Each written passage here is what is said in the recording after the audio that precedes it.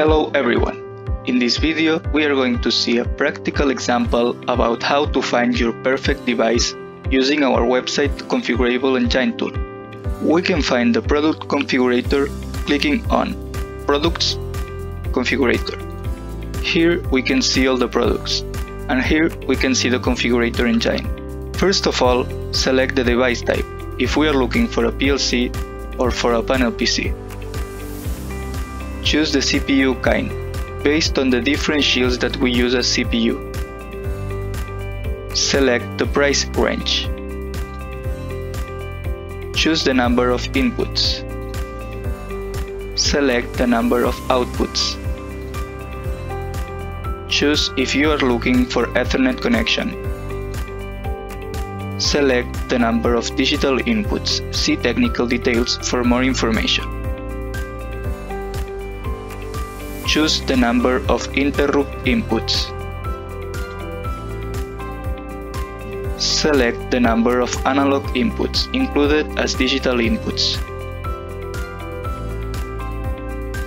Choose the number of digital outputs. See technical details for more information. Select the number of analog outputs included as digital outputs. Take into account that, in the inputs and output fields, there will only appear the devices with the exact number of or range that you have chosen. Choose if you want or not RS485 communication. Select if you want or not microSD card socket.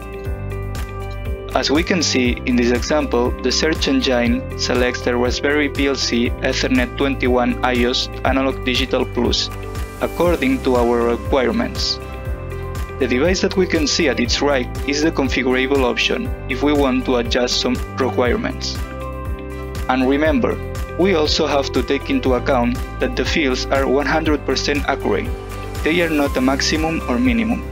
For example, if we select 13 digital inputs, we are going to see only the devices with this exact amount of digital inputs.